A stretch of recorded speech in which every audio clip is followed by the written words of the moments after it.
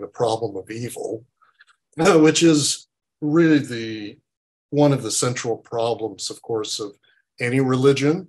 But I would say, especially the, the Judeo Christian tradition has been obsessed with this. Those of us that have you know, had, had trauma in their lives or who have lived through uh, disasters, calamities, various kinds, you know, get, get into inquiries about what it's all about with regard to these uh, visitations of what we call evil. And you might define evil as that which hurts you, that which causes pain, is a very general, generic, but I think a good definition of evil. You know, not everything that causes pain is evil, but evil always causes pain, damage, anguish, um, anxiety, uh, and loss. And so that you know, those of us who, and pretty much anybody living on your Urantia has has had great losses and great adversity. Christianity made some big mistakes on this issue, but it also had some very important, uh, brilliant breakthroughs. So we're going to go through a history. So this, this is the cover of the book, and you can't see the subtitle, but the subtitle says toward an integral theodicy for the 21st century. So that's part of the discussion. So we're going to talk about the problem of evil, but there's a need for what you might call an integrative theodicy because theodicy is really the kind of the theory of evil. And theodicy is how we can grapple with the presence of evil in the light of the fact that God is infinite and all loving. So it's a great paradox in, in, in this discussion. This happens to be my mentor uh, at Union Theological Seminary. It's guy named Roger Haight.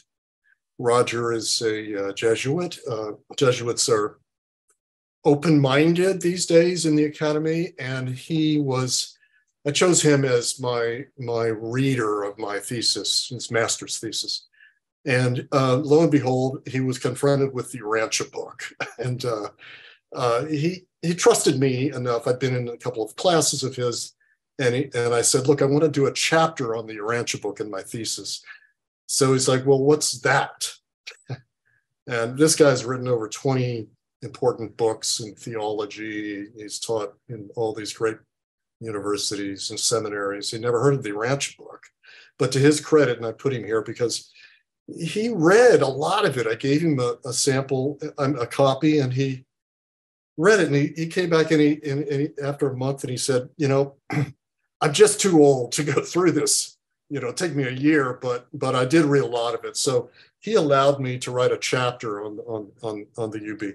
This is my other mentor, the other reader, Catherine Keller, very different sort of scholar who is very creative, cutting edge, Protestant uh, thinker, Methodist, and she has become fascinated with Urantia book because of the fact that she read the thesis and uh, thought it worked. And since then has invited me many times to coffee to talk about what this thing is. And she's she's remains interested and she continues to be in touch often with me.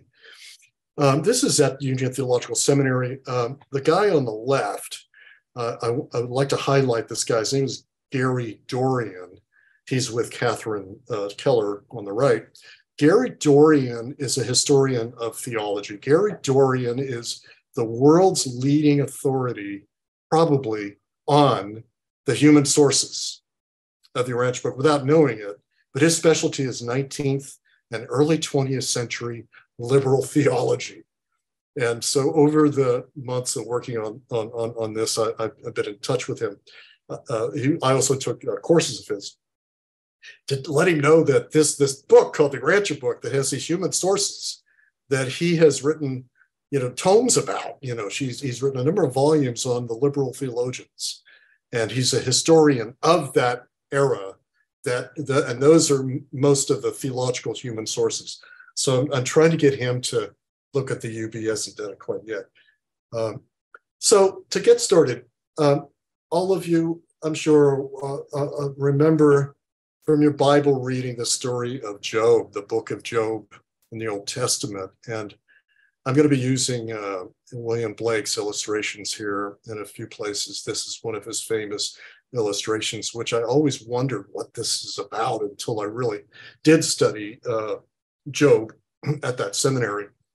And Job had the big problem, which was that once he was afflicted, his friends who showed up to give him consolation, these three friends, all had bad theodicies.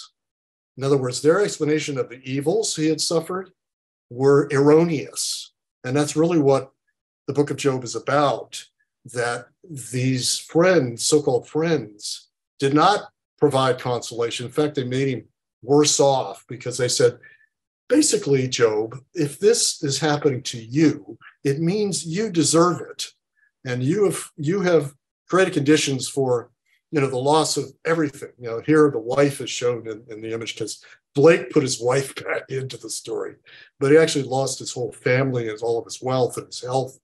And, and, and so the friends are saying, um, you know, kind of according to Jewish uh, so-called Hebrew, Hebraic sapiential theology, which was that if you're well off and wealthy and happy, that's because God gave you those gifts in recognition of your good deeds. And that, that, that is an erroneous theodicy.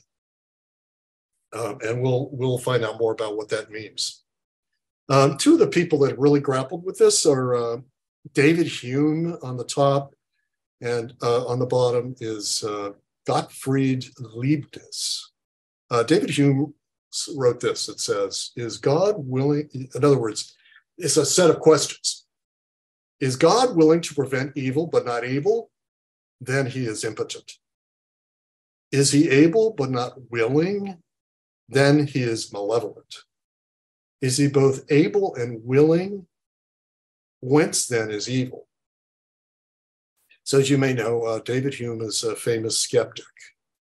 And in this particular text, uh, became quite famous because he kind of threw down the gauntlet to the Christians um, around him in the 18th century, saying, Answer these questions for me. How, how can you do it? And I, I, he says, I'm a skeptic. I don't think you can answer these questions. Leibniz tried to do it in the 17th century, 18th century. Uh, he coined the term theodicy as theodicy meaning the answer to these questions. Um, and um, so this problem of theodicy is really, really much bigger actually than even in, in the earlier Christian eras because of the degree of evil that we have in the modern world that uh, once the World War II happened, theology had to had to change because our theories of evil and how God uh, God encompasses human evil tendencies had to change, particularly after the Holocaust. Uh, so this is the problem we call the problem, not just the problem of evil, but the problem of horrendous evil. So the earlier Christians didn't really have this category. I mean, they had terrible things like the Roman Empire, but they didn't have things like Hiroshima to explain. So how do you explain a deity that allows such things to happen uh, on the face of the earth? And then say well this is an infinite loving deity. How do you explain that? That's the that's the predicament of theodicy especially modern theodicy so so just breaking this down for you again um, uh, there are three apparently incompatible propositions here. One is that what we all believe god is our sovereign and is god is our all-powerful father creator uh, that's the cardinal uh, belief Christianity, Urantia book, Judaism, Islam. Uh, two, God is infinitely benevolent, just, perfectly loving. Again, another premise of our faith. Three, evil plagues our daily life and can prevail for long periods of time. So you can't really put these things together without a theodicy. And so, uh, so what kind of the upshot? I'm going to give you kind of a giveaway. What what the final answer may be is you have to practice apophasis, which is uh, a, a, something that's in vogue now in, in, in theological study, which is we just don't know that it's apophasis means it's unfathomable and there's a mystery of evil. However, we can go pretty far in explaining what it is about. So that's when we do rational philosophy, theology. We do as much as we can. We go as far as we can. We use the Bible and we use other texts to explain the presence of evil and to, and to try, try to explain what God is doing for us through the incarnation of Christ, mainly.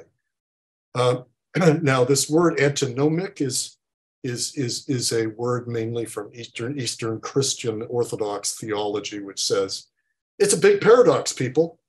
And you can't really, you can't stop the paradox. You got to hold, hold these incompatible propositions in mind. And, and that's where we get a, a kind of Christian mysticism, where we, we, we contemplate this, uh, this paradox and, and how God holds this uh, together.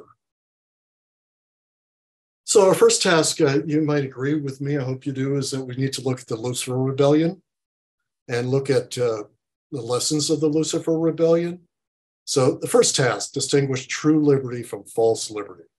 You know, once you get older, you begin to see, you know, with your kids, you know, the behavior of teenagers and, you know, immature people, what the difference is. But here's some very advanced language uh, for this discernment task. True liberty is progressively related to reality and is ever regardful of social equity, cosmic fairness, universe fraternity, and divine obligations. Liberty is suicidal when divorced from material justice, intellectual fairness, social forbearance, moral duty, and spiritual values. Liberty is non existent apart from cosmic reality.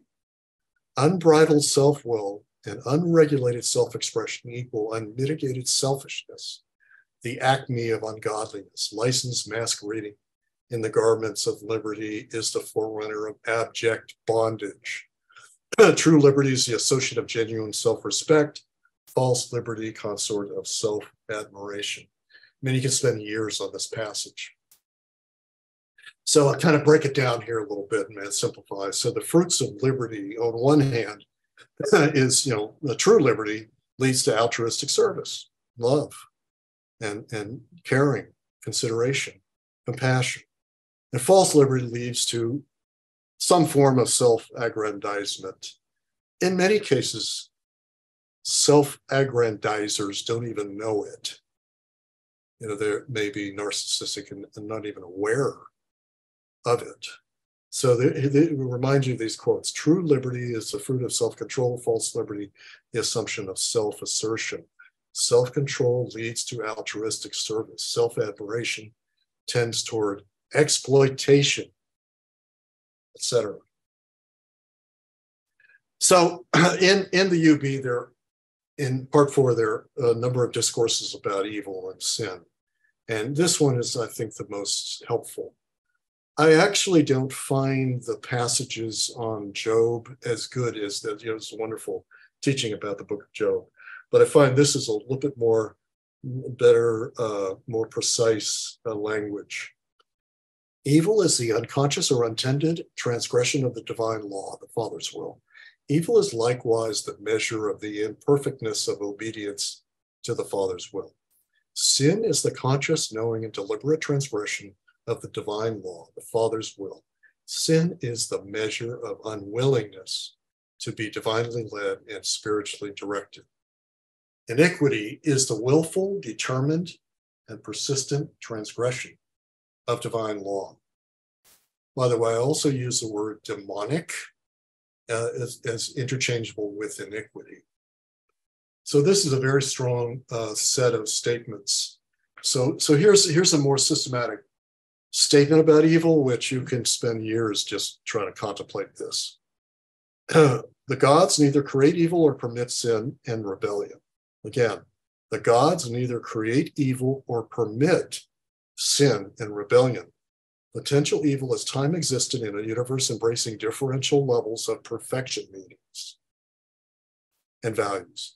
Sin is potential in all realms where imperfect beings are endowed with the ability to choose between good and evil. This is a wonderful philosophic statement that I did not unpack in the book. It's it's really advanced uh, compared to anything I have seen in the history of this discussion. So here's where I kind of break this down into a into a into a, a what I call gradations of moral descent. And if you put the UB statements together, you get really four levels: error, evil, sin, and iniquity. And so this is a descent into to the bottom of moral turpitude, as I call it. And there are uh, ways to other ways to think about this, which I'll, you'll see in the chart. So in this chart, this chart is based on the UB, but it's my interpretation. In another part of the text in part one, they talk about in other places, a deity of reality, for example, they talk about the phenomenon of accidents. And according to uh, certain theologians, there are no accidents. Certainly, it's a tenet of sort of New Age spirituality. Oh man, there are no accidents. You know, everything means something. Everything, but the UB doesn't really say that. The UB says that there really are accidents, and they're random. And and so we have to put that in here because accidents are not evil technically. But once you get to error, um, you get, you're not evil, but you're on the way, but you're immature, right? And it's, pers- I call it perspectival. Your perspective is immature. You are not evil because you made a mistake because your immaturity, lack of experience. However, if you don't correct your errors, you may go to the, you may descend to evil. Now, one thing really important for everybody to note about the Urantia book is that its definition of evil is really not colloquial. It's not really how we tend to think of evil. We tend to think of evil as really bad stuff.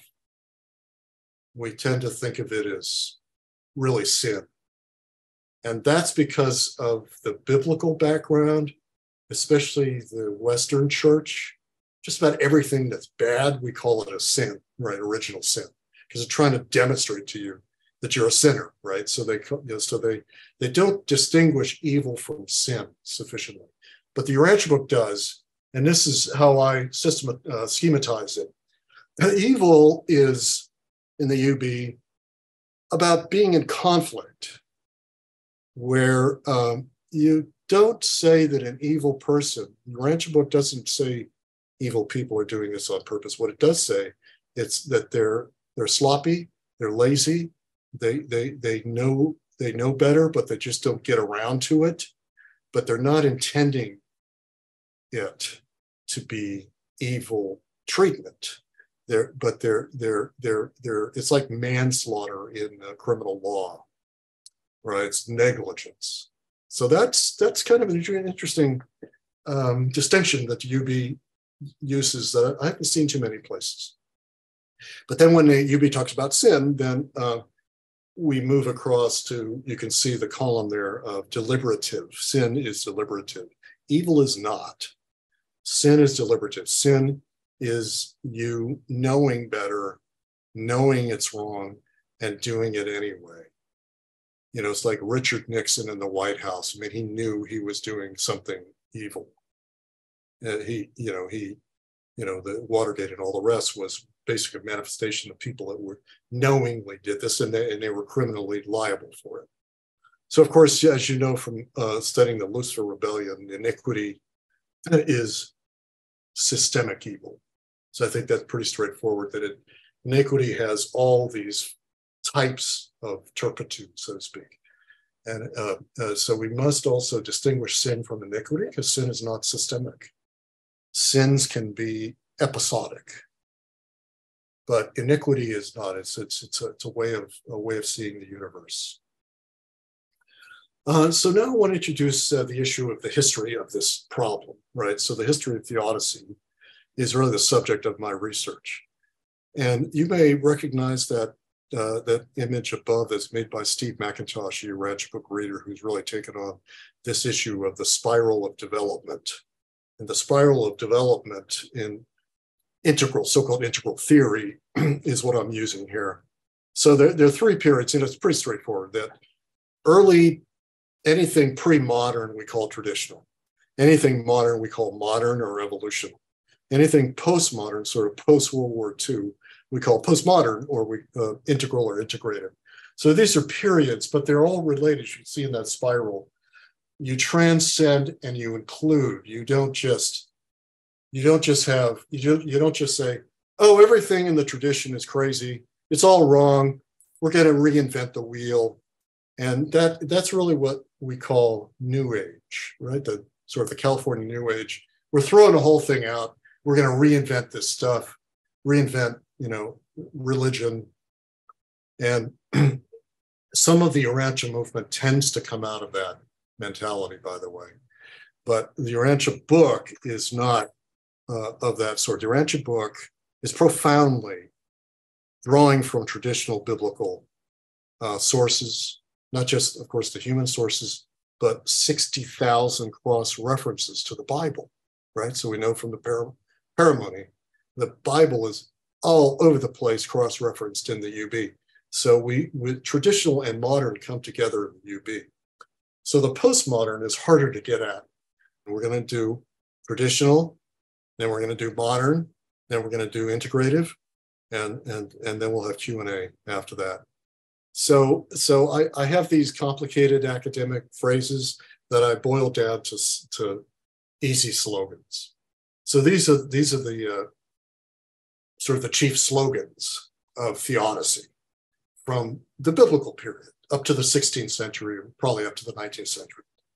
So, number one, the devil makes us do it. Number two, we're junior partners with God. Number three, free will leads to greater goods. Number four, it's all under God's control. Number five, all's well that ends well. So, these are the five great ideas about evil and the solution to evil in Christian thought. By the way, they're all in the UB. So now let's break this down. So the first one, the devil makes us do it.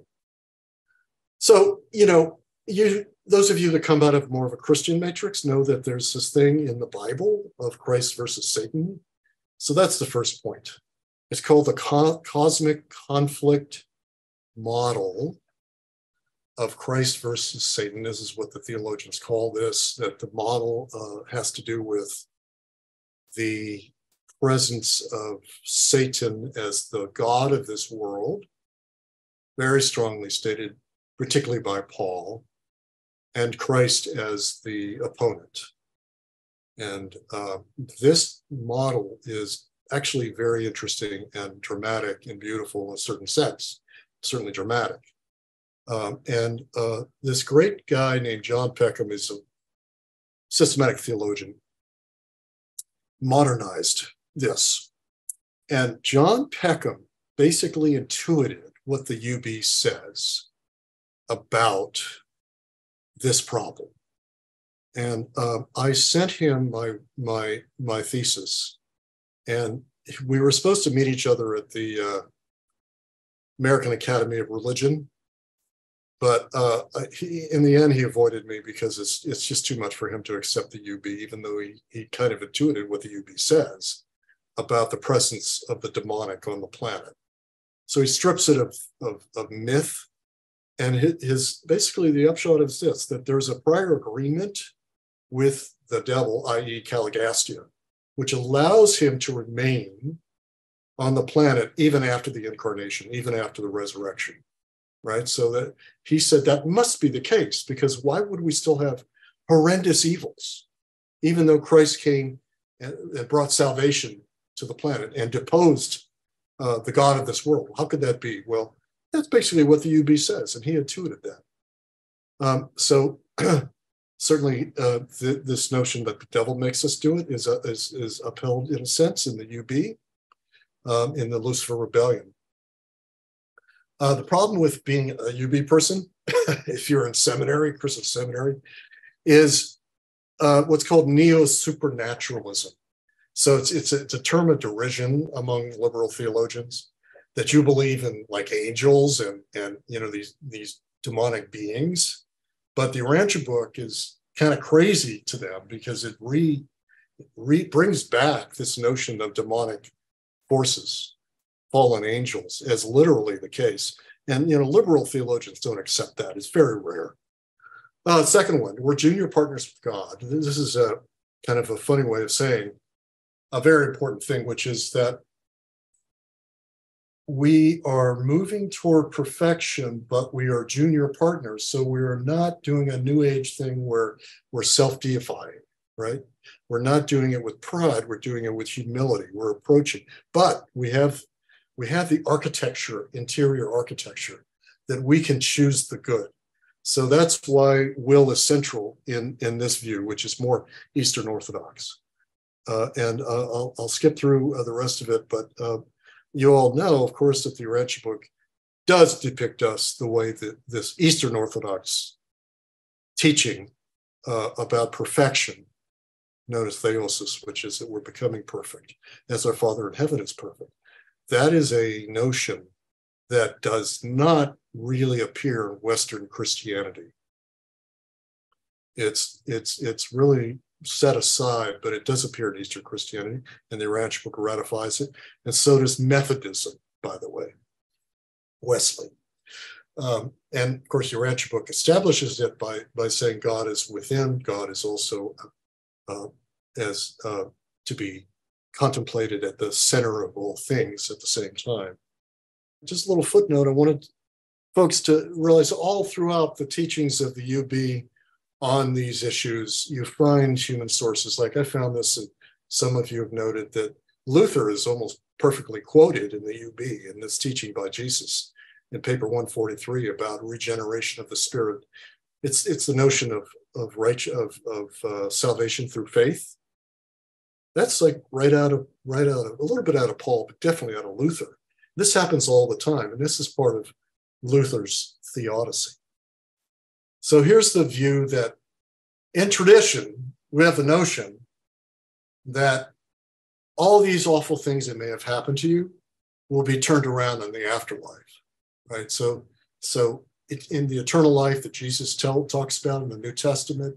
However, not everybody's going to get there. A lot of them are going to go to hell, and and that's that's kind of a problem for for Christian thought all the way up to the 20th century. They still talk about this.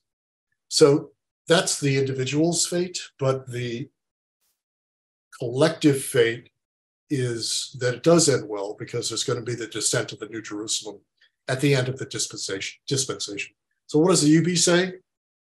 UB is absolutely fabulous for Christians, for Christ-centered people, because it describes how we, how all is well all that ends well, all that will end well on the mansion worlds. Because even if you were, you know, snuffed out in a terrible way, you can have total re- rehabilitation, consolation on the mansion worlds.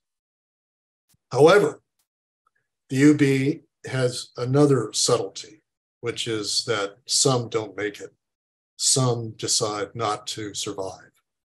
and this again is the issue of horrendous evil, which I said at the outset is the key issue. So, because of certain horrendous evils, some people who experience them will opt out. They will not get salvation. Um, we're going to return to we're going to return to that in a moment. Uh, now we come to the modern uh, view. Look, uh, everybody, you got to you got to have mercy on Christians because the tradition had no idea about evolution till the 19th century. So they had a big problem, which is they did not have what we know about the Supreme. They had a static universe and they could not figure out a way to overcome evil other than the, the idea that God makes it right more or less through, prede- through predestination. But now in the modern era, we get uh, the notion of everything's evolving. Uh, second is the notion that God is not determinative. God doesn't control everything. God takes risks. So in uh, current theology, they've come to the UB view, which is, they call it open and relational theism. It's something new since the 1960s to 70s. That uh, they noticed that conservative theologians noticed that in the Bible, God doesn't always get what God wants. So, how come we're saying God determines all things? It can't be right. It must be that God takes risks with the universe, and the UB ratifies that. Finally, is perhaps the, the supreme theodicy is that is soul making theodicy. My last book, some of you have seen, is, is about this. And it's in the Christian tradition, latent. It's a, it's a minority view. It comes from Irenaeus, if anybody know from the third century, who said, "Yeah, wait a minute. I think I think we're evolving. We don't know exactly what that means, but we're growing. We're growing out of evil. But you know what happened? The Christians rejected that in the West. They said, We're not growing out of evil unless God delivers us. We can't do it by our own efforts. We have depraved wills. We have original sin. So only in modern times do we get this notion of soul making, if uh, the full notion of that. And it starts with this guy named John Hick, but the UB also, of course, explains that. So now we're going to look about, we're going to go backtrack and look at the first of these, which is everybody interested in this topic needs to know about process theology. If you've not come across it, it's the, the discovery that God evolves. Very radical. Nothing like this was ever really hinted until really the 20th century. So, con, con, uh, at the same time as the UB, we get this teaching from Alfred North Whitehead. It's called process thought, process theology. Deity co evolves with us. And then this guy, David Ray Griffin, took this even further.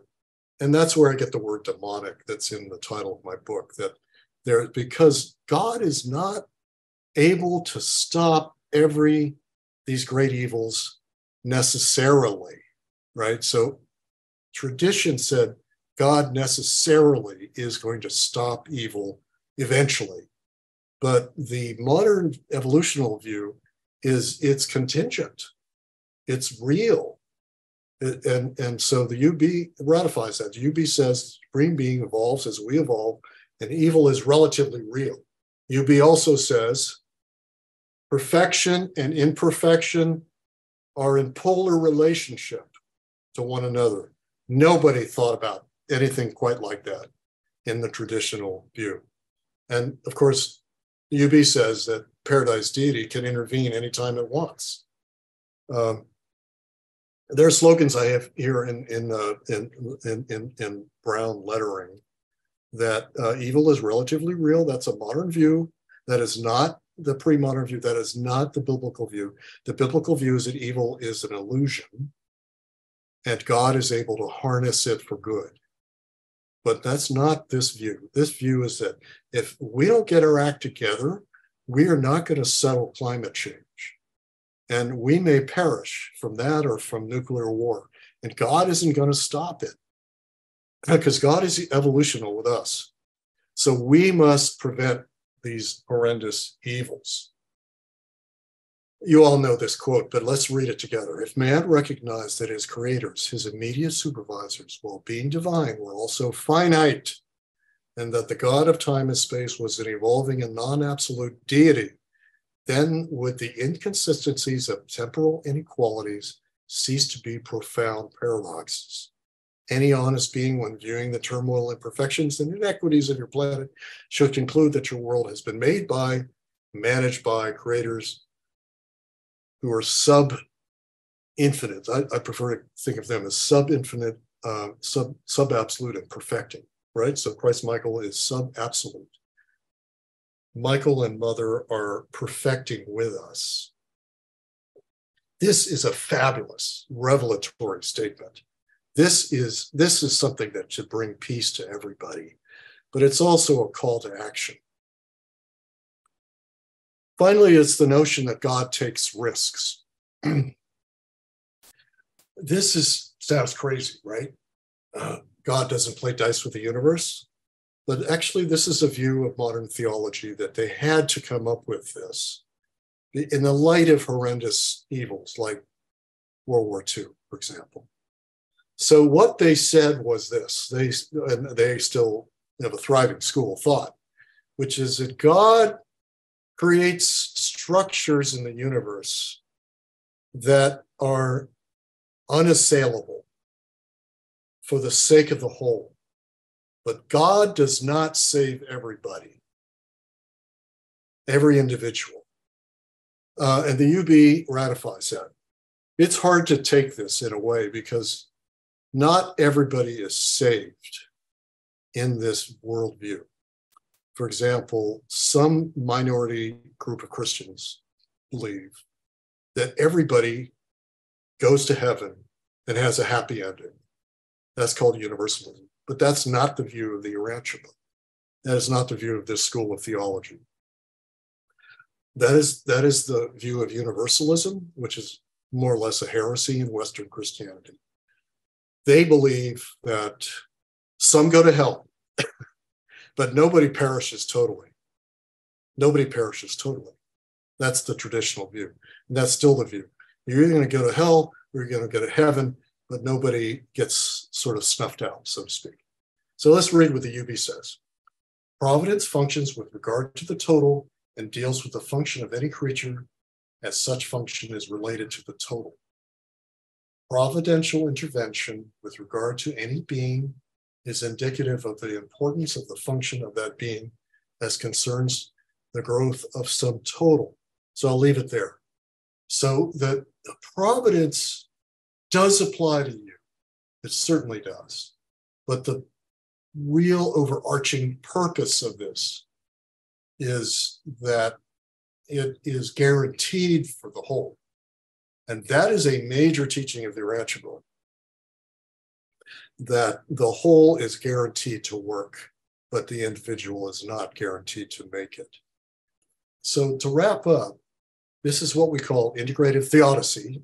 so, this is what I'm calling for. I'm saying that all of these fragments that we've been talking about have some truth, all the way back to the beginning. Even the biblical view that, that the devil is present on the planet, that's partially true. I mean, it's really true, but it's not the only truth.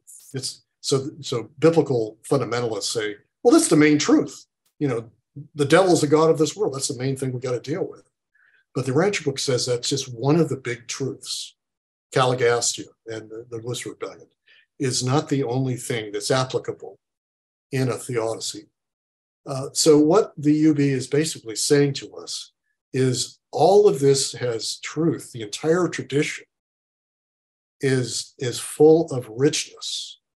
Do not divorce yourself from the Christian legacy, but notice that it's only partially correct in any one case. Like Luther, for example, is certainly right about many things, but guess what? Luther was really wrong in his view that everything's predestined, especially Calvin, right? It's all predestined. That's that's just crazy, not crazy, but it's wrong.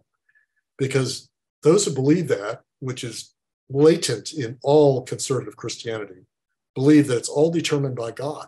So humans, human will is not really the key factor. So the second point here is, is let's be multi-perspectival. This is postmodern era. We have to go for integration. And that's what the UB is doing in this, in this issue. The UB is showing us the way to the integration of the whole tradition, ancient, modern, postmodern. And I, I think my book shows that. It shows, for example, that point four here, there has to be a, the- a cosmology that makes this thing work. Point five, deity must be understood as both absolute and relative, that is, absolute and evolutional. Deity is both, both poles exist, they subsist. And there's a relationship between us in the grand universe and the central universe. It's a dialectical relationship uh, that is uh, that is solves a lot of the problems. So I'm just going to show you uh, the chart. This is the integrated chart. We don't have time for that. And uh, but I, I, show how all of it comes together in one uh, integrative unity in the book. Now back to Job. Job does get consolation at the end of the book of Job. How does he get it? Remember what happens to Job? His friends give him a bunch of bad theodicies. He falls into a deep depression. He starts crying out and he gets a revelation at the end. Go and read the final pages. He gets a massive revelation at the end of the book of Job. And that's what we got, in the Urantia book. We got a revelation about the problem of evil in the UB. And I want to end on this note. Rodan tells us that we need to have a defense against evil from, from a union of souls. I'll let you read that those quotes. And uh, that's why I've started this uh, entity called the Urantia Book Academy. Um, I'm not even sure that's the name. I'm just kind of suggesting this and beginning to work on it uh, to educate ministers uh, for the uh, for fostering religion, um, and uh, we need to educate them in the way that we're doing here, which is what's the tradition, what's modern, what's Urantian, and how they blend, how they come together. Because the Urantia book is is is a is mashing up these great truths into a higher truth. And uh, I think that would cover it. So let's do some Q and A. Um, Byron, I know you're a, a study for with epigenetics, yeah. and so this is this is kind of a cross pollination of your talents. Um, do our epigenetic modifications year in year out, generation to generation, make the the sort of Luciferian um, uh, manifesto and um, egocentric, uh, self-centered, false liberty? Do all those things become more and more uh, difficult uh, because we are sort of systemically becoming more tolerant of that self-centered, greed-based, uh, uh, everything is fine where it is kind of mentality? I think of uh, the epigenome, so-called epigenome, like this field effect of our decisions as they affect the underlying genetic inheritance. And um, the soul is like a, a, a field that contains that field. So there's a layering of fields. So the soul is, uh, you know, a Morontia field that is uh, holarchically, that is, it embeds the epigenome. So it's a wonderful uh, area of study. And are we acclimating to the presence of evil? Absolutely. You know, I live in Washington, D.C., and people don't even think twice about, oh, let's have another war. You know, and all right, so 300,000 people got killed in, in Ukraine. That's not so bad because we're weakening the Russians. I mean, I would call that that's getting in, that's getting toward a kind of an iniquitous view of things. They're not even noticing. Thou shalt not kill. I mean, it's just, and you know, I walk around Washington. You can't find, you know, the activists here, the anti-war activists, they're very hard to find. So yeah, generally yes. Thank you, Joe. Uh, or Don has his hand up. You know, the Urantia book tells us that the individual cannot be influenced or affected by the devil against their will or even unknowingly. However, it doesn't tell us what influences an individual can have who willingly and knowingly embrace the devil and rebellion theology. And I have to wonder that some of the horrendous evils that we have experienced in this world were perpetrated by those who have knowingly and willingly embraced the devil. I mean, the term selling your soul to the devil is a very common uh, phrase. You also mentioned that the some of the evils that were existing, like climate change, are things that we are going to have to take care of ourselves. So, with all that being said, do we have to take care of incarcerating the devil? Or is that something that God's going to step in and do? Good one, Don.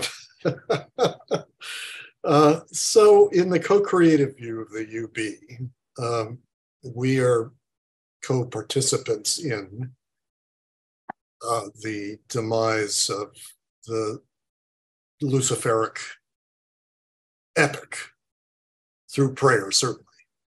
But there's the sense that we have to earn it Whereas in the Western theological view, we can't really earn grace. It is freely given to us. It's not contingent on our efforts because we can't do it. We don't have the, we have a depraved, depraved will. But the more enlightened view of Eastern Orthodox Christianity and of the Urantia book is that, yeah, we have to do our part of this. But if we don't, demonic power will grow and will lead to a planetary calamity, which seems to be imminent for many. After which, so the Christian fundamentalist view is that, yeah, it's the tribulation. God has a plan, seven years of tribulation, then God will intervene and solve the problem, right? So that's the primitive view. But our view is co creative.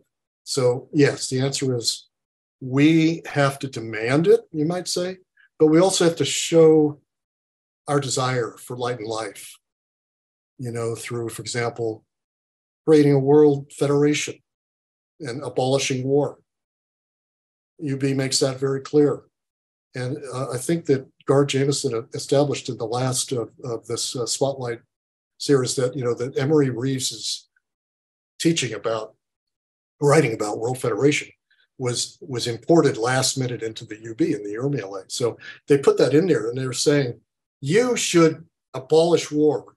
You humans should do this. You should end the nuclear threat. I mean, it's all implied in that. Uh, you should uh, do your job. We're doing our job. We're giving you incarnations. We're giving you the Bible. We're giving you the Urantia book. Now do your job. And if you don't do it, we'll let it go, but we'll intervene in, but not under the terms understood by conservative Christians. It's always going to be creating it together. So maybe they'll just work with the reservists. If there's enough reservists or, or, or a certain elite like us, you know, that take the reins, might be just enough. So that's why a lot is up to the Urantians, frankly. So a follow-up, where do we reach critical mass? Yeah, that's that's for the divine to know, but there's pretty good theories about so-called emergent properties of evolution that things evolution is getting to you know that a lot of people are saying many people have theorized that a small minority can tip the balance right? So very t- you know so uh, you know you can probably you will probably see it if there is a huge revulsion after the Ukraine war and people get really serious about global law, uh, abolition of war, reform the UN, throw out the UN chart, you know, if that sort of thing. So now I forgot your question. Restate it. Where do we reach critical mass for that partnership with the divine to incarcerate the devil? Well, the tears and prayers of the whole planet are going up to the divine, and you know certainly there's there's a response, and that that led to the incarnation of Christ in the first place. Because don't forget, you know, the West is not totally wrong. I'm kind of down on Western theology, but the West is right to say that we earned the incarnation through not through our efforts, but it was pure grace. Why? Because Lucifer Rebellion is not our fault. Lucifer Rebellion is an off planet import of iniquity. That's not our fault. But we got messed up because Western theology said, well, God is not responsible for the fallen angels.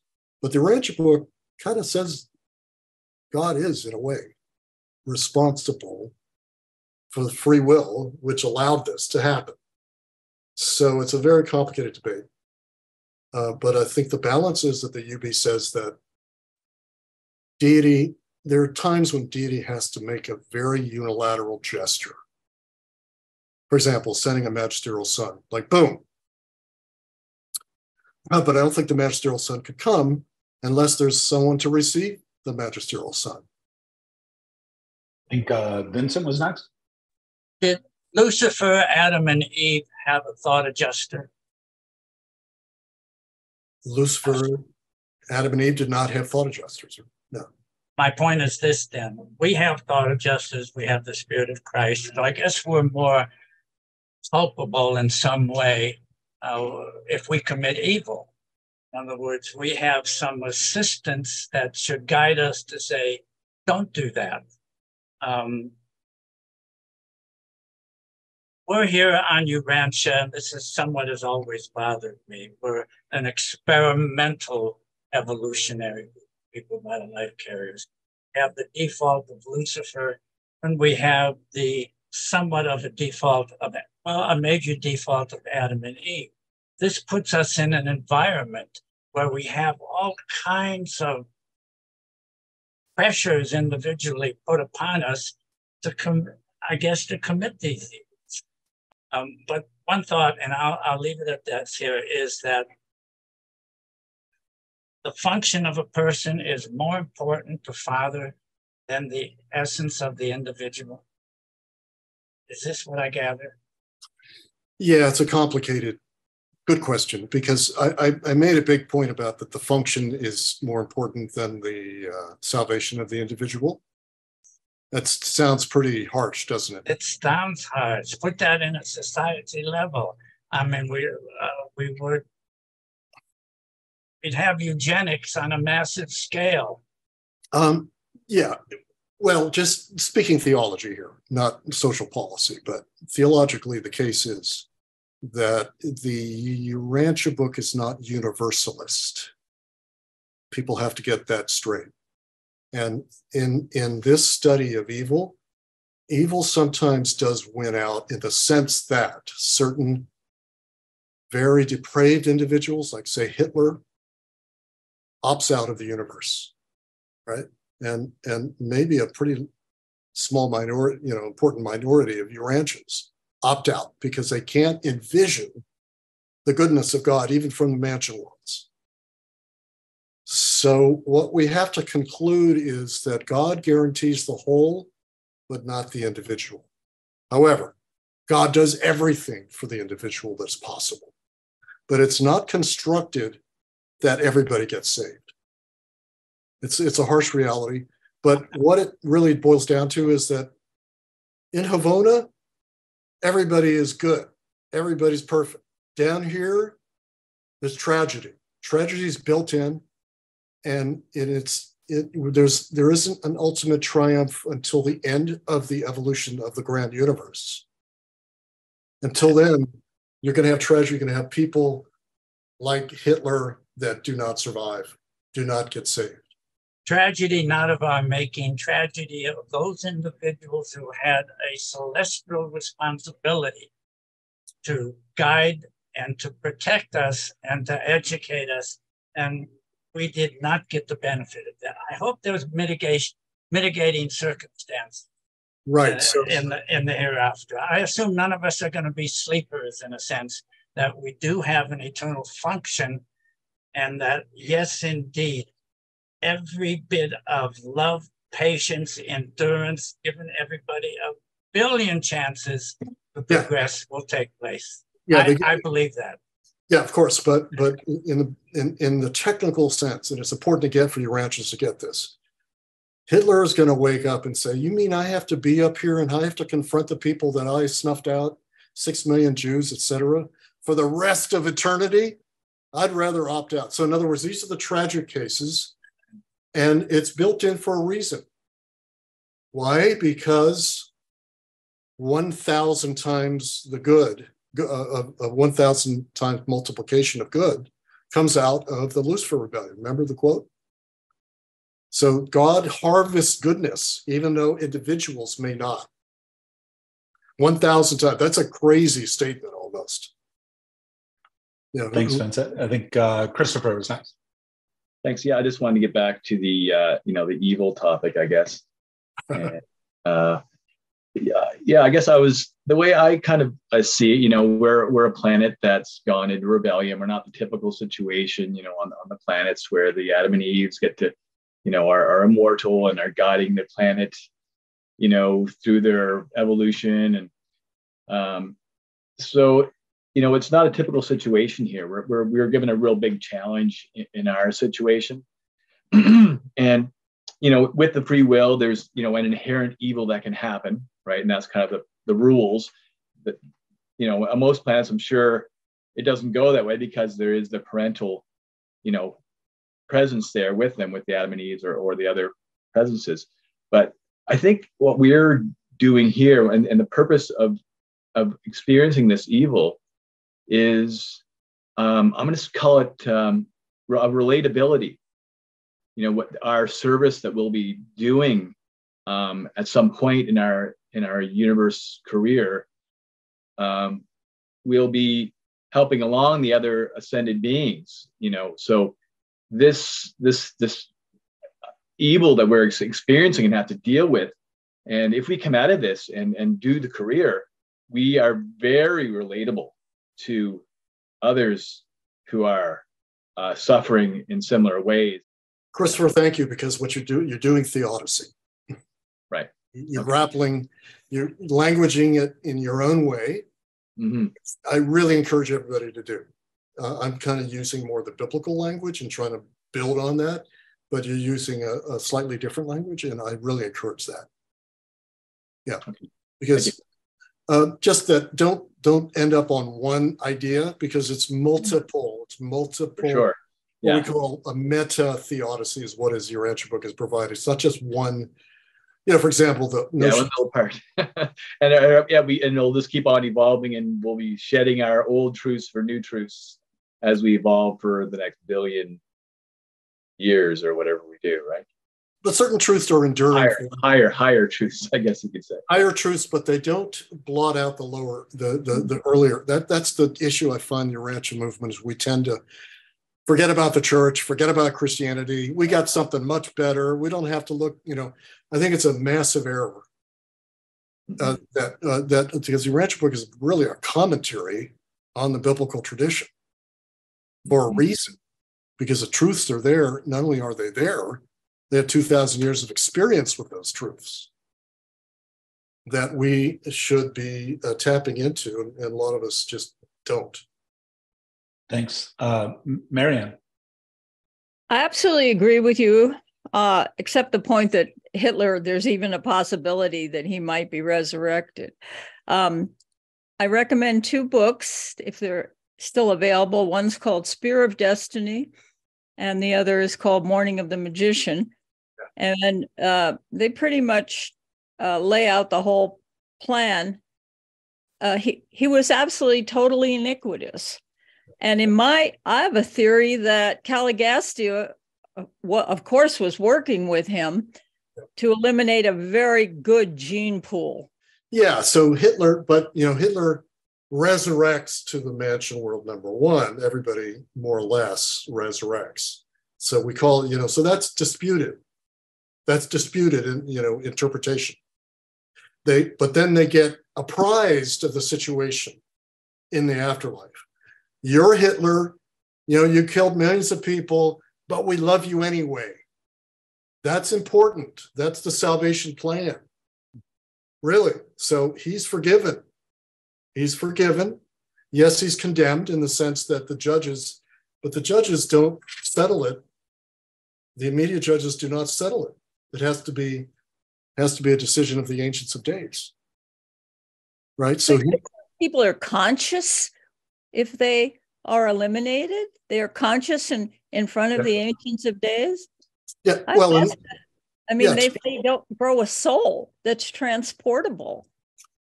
Well, there's there's a little flicker of soul in everybody. You know, Hitler was good to his dog. He was good to his mistress. So there's a little bit there. But if there's nothing, if there's nothing, then technically you don't go to Mansonia one, right? But the thought adjuster will leave if you okay. are so evil. And if you don't have a thought adjuster, how do you resurrect? How do you even get trans? How does the soul even get transported if yeah. there's no thought adjuster? Uh, technically, the thought adjuster would depart from that person, and they would not. They would not resurrect. That's what I'm saying. Yeah, but but I think of God as more merciful than than anything else, so that would allow that because it would say, this is how God demonstrates mercy and you know and ministry, right? To even the worst of them, because even Lucifer is going to be given, offered mercy, and we're already told that in the Bible, let alone the Urantia book. So they're going to offer mercy, and that but he accepted Jesus's mercy, right? But he was offered it. He was offered it, yes. Right. But, so but I thought you said he was going to get it. Uh, no, he was offered mercy. He turned it down. So Hitler would be offered mercy, and then he turns it down, right? And, and and he's defiant to the end. So those people have the second death, death number two, right? This is death on the mansion worlds that they choose. They choose. The judgment is handed down, and then it says, "Well, you can do rehabilitation, Mister Hitler. You know, you and all the rest of you know all of all of your SS officers all going to go through rehab." They have the resources to rehab even the SS. They have it. But they say, no, we'd rather be snuffed out. Well, I so, guess we'll have history on the mansion worlds and find out. well, yeah, it's, yeah, well, the UB tells us a lot of what's going to happen up there. So, uh, but it, it, takes a lot of time to ex- find it and to accept it. It's hard to accept that some do not survive because it, means that that that the, our universe is tragic.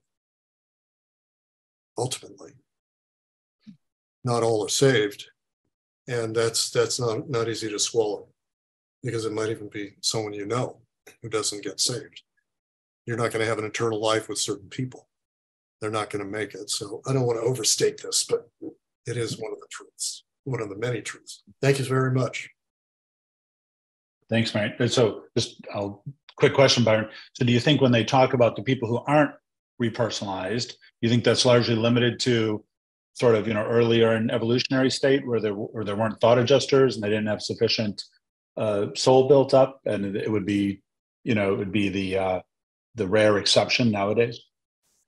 Yeah, I don't know about the early uh, cases, but uh, certainly these days everybody has thought adjuster after Pentecost you know, with the whole you know, spirit of truth. So right. some redeeming something in everybody uh, in theory, right? And this is technical stuff right. because, you know, again, we're saying that Stalin was offered mercy in Mansion World. That's what we're saying. Mao was offered mercy. Right. Merciful God does that. But uh, in uh, those without thought adjusters at all, no, I don't think so. Yeah. Yeah. Anyway, um, David is next, I think. The Urantia, the, the revelators make it clear to us that it's not until the planet begin, begins to have individuals who are God oriented that they are the ones who will have the ideals. The revelators make it clear to us that our political so called elite, they're not elite at all, have a myriad of ideas, but are totally lacking in ideals. What we need is political leaders who have ideals. And that comes from spiritualness. I don't say, you know, it's the spiritual that is the most important part of it. That is what gives you ideals and you get the ideas from the ideals. Um, and I wish I could say that Urantians were a little bit more mature than they are, but uh, I would I would warn uh, Urantians to be a little more careful with this superiority complex that I kind of see running through there a little bit. Thank Thanks you, a lot. I appreciate it. David, I know in the uh, Urantia Book Academy that I'm starting over the next 20 years, um, I hope to be able that we can train preachers. I mean, in the best sense. I would like to have sermons like the one you just gave. I really, I mean that uh, as as a compliment. And uh, we need to start giving sermons the way uh, pastors do, which means we need congregations. If we're going to have congregations, which I advocate, then we should apply the three step method that Jesus established for a congregation. Remember that? Because it states that people will be sinning against you in your church, in your congregation, but this is how you settle it. It's a three step method. Number one, you go to them and let them know what the sin that they or what the offense was. If they don't hear you, you bring a witness. If they still don't hear you, you take them to the congregation. And the congregation decides whether to expel them. Sounds kind of harsh, right? But I think it's far superior to a study group where anything goes. We need study groups. But churches don't think that their Bible study is church. Bible study is down the hall in a certain room, but the church is where you fellowship, worship together, young and old, not just middle aged people. And Urantians need something like that. I wouldn't call it a church, I would call it assemblies. And um, so that's where these kind of discussions should be held, which is what happens in Christianity.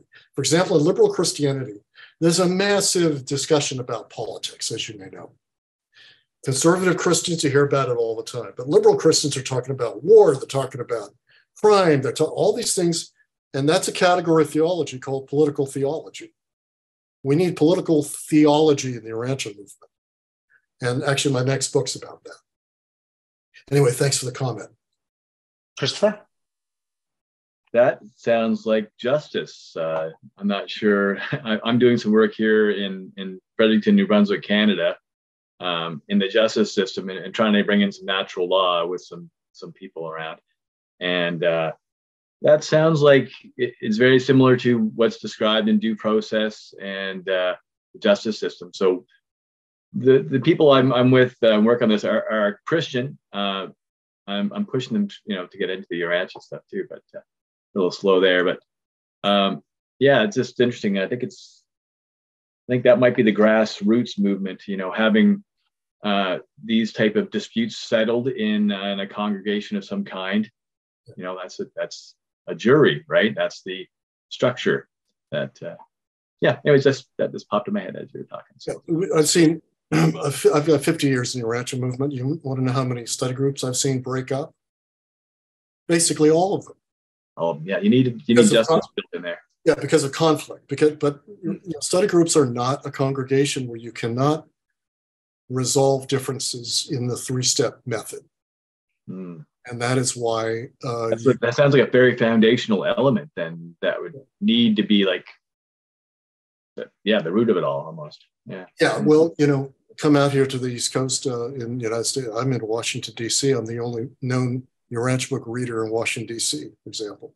So, you know, I think because we don't build the communities for worship and fellowship and socialization, we're, we're not progressing. Mm. Mm. We're, we're, like a church that just has a, a Bible study.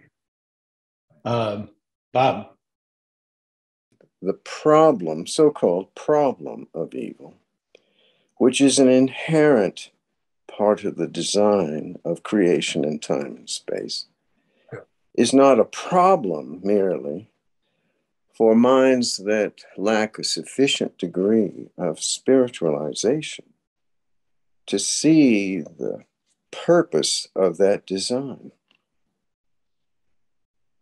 to see the purpose of the fact that we're designed so that there is a differential between evil and good. Uh, and you, you begin to make distinctions about it. That's how I would restate what you said. So that's a mental, philosophic. Right. So that's what we call the problem of evil is a philosophic, theological right. issue. That's what your book is on, isn't it? That's the foundation of our, yeah. our sal- salvation in in in uh, in the sense that if you don't have the basic able to dis- ability to discern false liberty from true liberty, for example. Mm-hmm. You're you're not. That's an intellectual issue, and that's why we have this big fat Urantia book to make these distinctions. If you don't have these distinctions, it's going to be hard for you to receive divine grace in worship. Right. Which is why the book of Job, most of it is a bunch of intellectual discussion about Right. is this evil. Right. And at only at the end, does Job get a, a supernatural revelation. Only Right. after he went through the process of the Odyssey, some of which were, you know, they were terrible. But it's what we all do. We're grappling with this until it we get somewhere with it. And Job got somewhere with it. Because at the end he goes, My vindicator exists. I just I can feel that from this discussion, but you guys haven't, you have not pinpointed, you guys being his friends, you've not pinpointed, but he gets to an opening intellectually where the heart can come forward and receive this, this statement that God comes out of the whirlwind at that point. But God doesn't come out of the whirlwind at the beginning. He wants Well, you to do yeah. some work, some homework, right? So yeah, you're right. It's a mental operation to begin with, and I don't think you get around that. Well, that's what I mean. You you you make the point very clearly. Yeah. It is a process through which we grow by design. In other words, the so-called shadowland of evil is a function of a time-space illusion. And that we are using these illusions to learn. And Job, obviously, as you articulated, utilized the variety of illusions that were thrown into his life to grow beyond them and to embrace the totality of a goodness that he embraced that transcended his own intellectual understanding. It was a function of, of his faith that declared, I don't even care if you kill me, I will serve you. Uh, that's transcending the intellectual complexity of the so called problem of evil. Yeah, this is the this is oh. central to the debate, Rob, because th- what I would call the facts of evil, so to speak. So mm-hmm. this is evolutional theology of the you know, 20th century, which says no, evil is not an illusion. That's traditional theology. But I'm not saying modern theology is right. But I am saying that Urantia book agrees with modern theology to the extent that while you're in the grand universe, evil is not an illusion it is relatively real. so there are facts. You have you have a holocaust on the ground. These people are dead gone. Cities are destroyed. These are the facts. Those are facts. And, and to say these are not facts is a non-dual view so-called monistic view of theology. And uh, I, I took that slide out of the, out of the presentation because uh, but it's already present in Western theology. Yes. That evil is not real, it's an illusion, and God does all the work. Oh, well, that's unfortunate. God, God saves us through through his son, right? And we didn't deserve it because we're depraved. And and these evils will be turned around by God for us. That's that's the, the Western view, but the current view the Urantia book does not it, it, it, ratifies that but says it's partial. Because the other Yeah. of that it's an evolutional universe where evil is relatively real. So you have to do both. You have to hold both. And that's this antinomy and antinomic theology I Mhm. Yeah, well, that's our that's isn't that the gift of uh, humanity is to integrate those two, the eternal and the temporal, and with that integration, uh, a supreme reality is emerging that is transcendent of any so-called dichotomy of good and evil. It uh, is a wholeness, uh, the wholeness of a goodness that's transcendent of any antinomy, uh, as you might call it, you know. It is in theory, but not in practice. That's, Oh, that's why we have evolution. We have the our, Yeah. wor- our worship embraces worship embraces that, right? right. Better life ahead. And Well, we'll not bring that- necessarily head. It's always present. Yeah, so that's the debate. This is the nexus of the debate, and what I, I see, and the reason the Urantia book in the in the foreword quotes this theologian, particular theologian, word for word, about Uh-huh. perfection and imperfection. Remember that? The- you know, it's uh, Hartshorne. That they are coexistent, and you never get around it until the until until the supreme is complete at the end of of of time of Well, now that's that, that's true for the collective. Hey, guys, I, I don't want to cut you up, but we are a little past time, and I just want to Oh. give Peter's one last question, and then we have to uh, to stop. So, but thank you, uh, Yeah, thank you. thank you. Yeah, uh, I don't Peter. Yeah, I mean, Byron, uh, great book. I'm uh, 59% through it. That's what my Kindle app tells me. And uh, so I'm digging it. But, uh, you know, it just occurred to me when Bob asked this question just now, it turned into a little bit of a debate, which is cool, you know, but I've got, I want to know your thoughts on it, uh, Byron. Just, I mean, uh, this is not going to be a debate for me, I promise you. But looking at the intent of the Lucifer Rebellion in the context of here we are on 606 uh, uh, an evolutionary planet, a decimal planet, meaning an exploratory or e- e- experimental um, uh, evolutionary planet. Was the intent sin? Oh, And if, if not, where did it start? Lucifer, you mean? Lucifer was operating in an evolutionary Yeah. experimental environment. Did he sin? Yeah, I mean, you know, the, the doctrine of the Urantia book says he does. So, you know, we can question that. You know, we can question it. Why not? But, yeah, the, he was warned. He was told. You know, then they came to presented to him. Gabriel gave the you know the alternate view, which was the official view, right? So he rejected this, and he was offered. You know, that on and on and on was offered mercy right up until the crucifixion. Still offering mercy. He's still spurning. He's being presented with the fruits of sin in uh, even in the cross. Okay? So if that's not enough that means he's cosmically insane. Really. I mean to be harsh about it but that you know he's disappeared really in a cosmic sense. His his so that that is what iniquity is. You become non-existent. So he might as well be non-existent. So it's just a matter of the ancients of days saying, uh, "You're out of here, Lucifer, because you have no repentance in you." Because somebody has to make the decision, right? So Christ Michael doesn't make the decision.